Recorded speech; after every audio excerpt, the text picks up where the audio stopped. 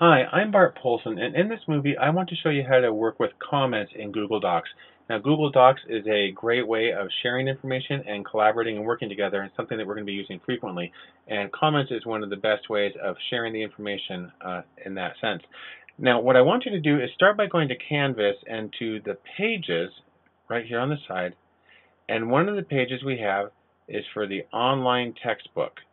And uh, right here I have the table of contents for my behavioral science class, and I have a, a hyperlink here for the first chapter in the book, and that's 01 Introduction to Statistics and Research. And if you click on that link, it'll open up Google Docs.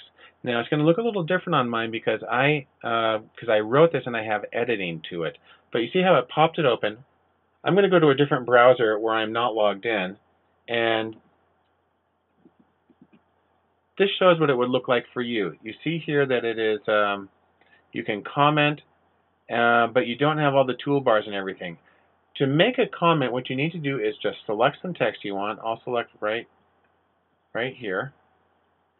And then you can either go up to Insert, Comment, or you can do the uh, the key, cam, uh, key commands. I'm on a Mac, so that would be Option Command M. Uh, I think it's Control M Control Option M on a uh, Windows PC. But you just uh, select that and then it pops up. Now right now it says anonymous because I'm not logged in on this browser.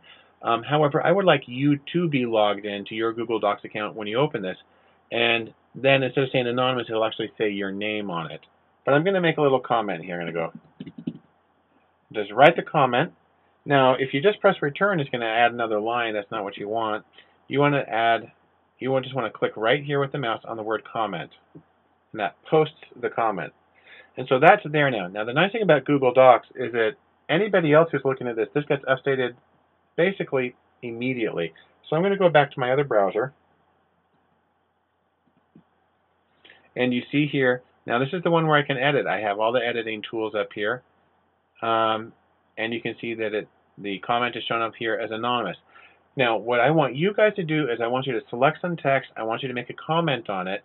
Although there is one other thing I want you to do. I'm going to come back to here, to this first one. And I'm going to click on the comment so I can edit it. And I do want you to put in uh, your name. Uh, well, your name's going to be on the top. But I want to make sure that you put in the, your class and your section number. So for instance, here's for Behavioral Science 3010, Section 10. That makes it easier for me to keep track of stuff. So I'm going to press save. Then I'll go back to the other browser. And you see how it's there already. Now, uh, me as the teacher, what I'm going to do is I'm going to come and look at your comment.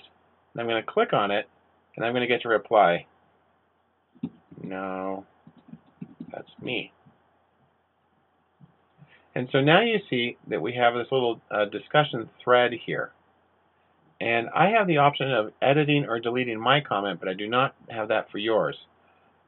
On the other hand, once I do this, I'm going to mark credit. I want you to go back to where you are in the document, and you can simply do this. You can come right here, and you can click delete once it's marked. So you just delete the entire thread.